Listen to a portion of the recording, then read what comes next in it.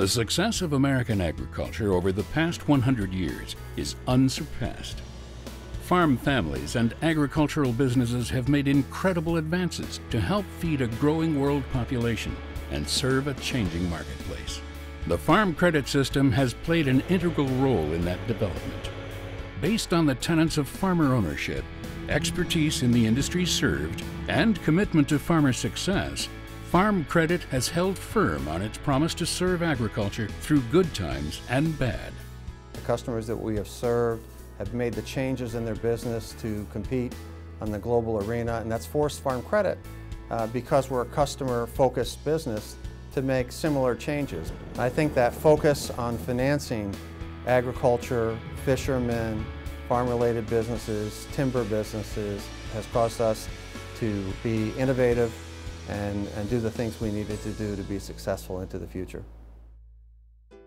What we know today as the Farm Credit System was born on July 17, 1916, when President Woodrow Wilson signed the Farm Loan Act into law. Any piece of legislation that endures for over 100 years, there has to be something visionary in the original concept.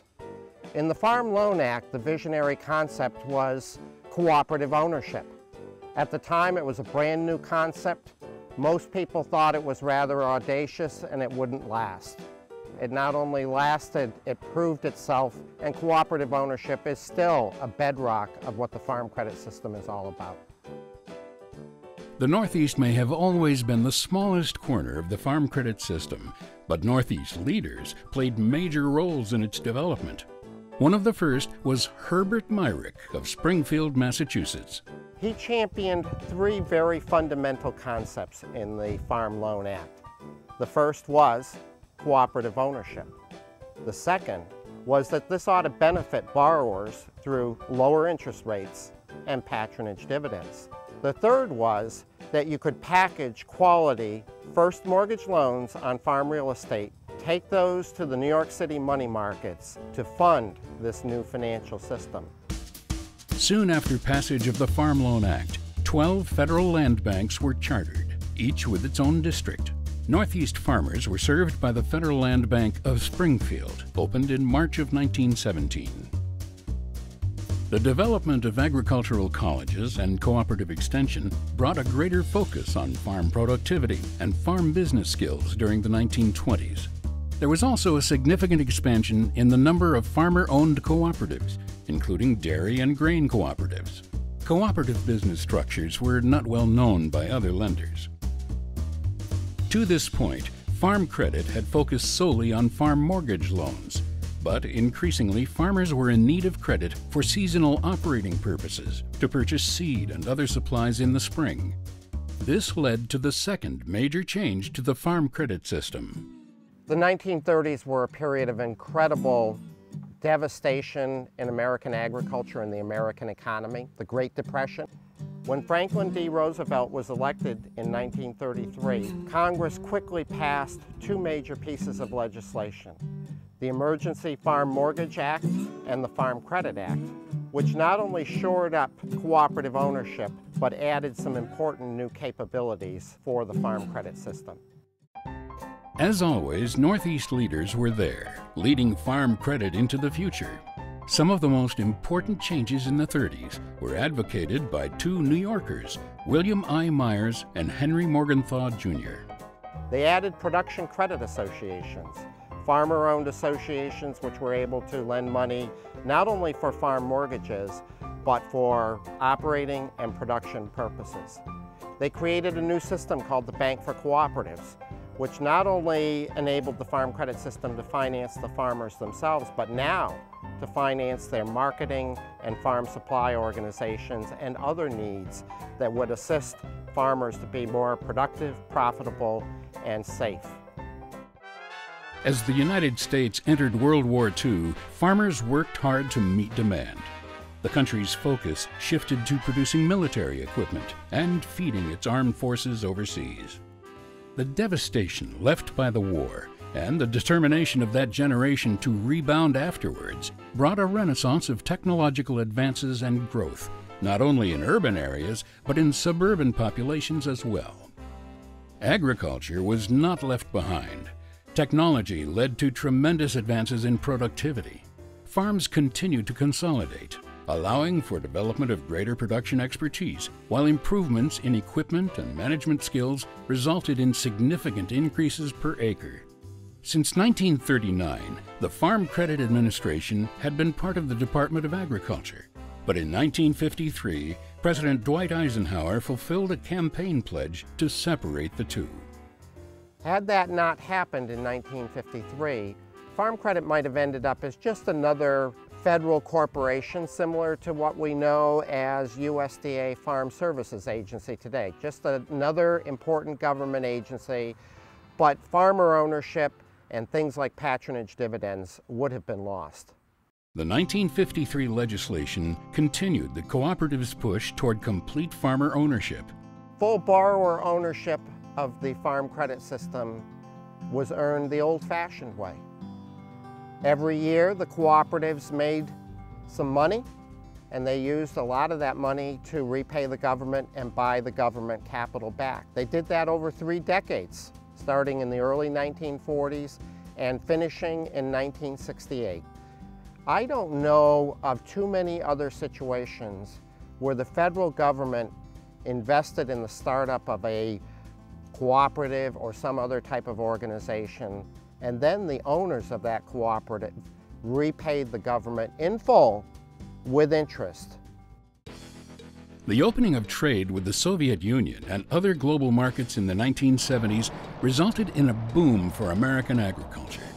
The American farmer was increasingly looked at to feed the world's population. In the early 1900s, on average, one U.S. farmer produced enough to feed 10 people, most of which were located within 50 miles. By 1975, this had grown to 45 people, with an increasingly international reach. Today, each farmer is responsible for feeding a remarkable 155 people in all parts of the globe. The Farm Credit Act of 1971 was really a coming out party for attaining full customer ownership of the system several years earlier. In the credit area, it extended eligibility to farm-related businesses, to rural residents in towns of under 2,500, and to commercial fishermen for the first time. In the services area, it opened up a whole new area in which the farm credit system could provide business services that would help farmers not only become more profitable, but also manage their risk.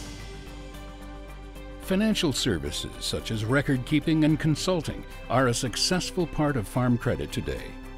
One of the leaders in developing financial services was Howell Hughes. He recognized that the art of making loans was changing and that it needed to be professionalized. And so he updated the credit underwriting, the loan approval process, and appraisal procedures here in the Northeast. That turned out to be very critical because it enabled the Northeast to avoid the most difficult problems that Midwestern farm credit organizations had later on in the 1980s. U.S. agriculture was rocked with yet another crisis in the 1980s. The Federal Reserve responded to runaway inflation in the non-farm economy by hiking interest to double-digit rates. Soon the economy was in recession, and a rising dollar reduced export demand. The result? A perfect storm for American agriculture. Land values plummeted, production costs rose, and drought damaged crops. These challenges were also felt by Farm Credit, which had not established adequate capital levels or the lending disciplines necessary to deal with such a dramatic market disruption. Congress reacted with several new initiatives. The first was the ability for farmer directors to figure out how to consolidate institutions, not only to become more efficient, but to better manage and absorb the risk of farm lending cycles. The second was a new institutional format, if you will, called the Agricultural Credit Association. And for the first time, the Agricultural Credit Association allowed local farmers to put real estate, production, and other types of lending all into one local institution. Farm Credit East today is still an Agricultural Credit Association, ACA. For the past 25 years, the Farm Credit System has seen significant growth and success. Associations have consolidated to increase efficiencies and reduce costs. Digital technology has made lending more efficient, enabling better risk management and enhancing speed and service to the customer.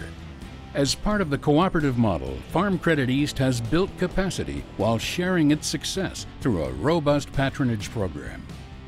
With strong earnings and a commitment to building capital and maintaining efficiencies, Farm Credit East strives to be a reliable and consistent partner for agriculture, forest products, and commercial fishing today and into the future. The Farm Credit System is a marvelous public policy success story. And I think it's that original foresight that the founding fathers had for setting up a governance structure uh, made up of farmers who are customers, of creating a cooperative structure, of creating a specialization to focus on agriculture, of hiring the kind of staff and employees that want to be involved, helping customers be successful. And I think those factors, governance, focus, specialization, serving rural communities, has been a real factor in why Farm Credit's been successful over the past 100 years.